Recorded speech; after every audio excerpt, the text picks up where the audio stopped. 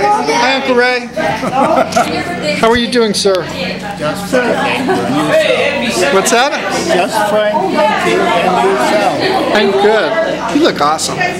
You really do look healthy. So I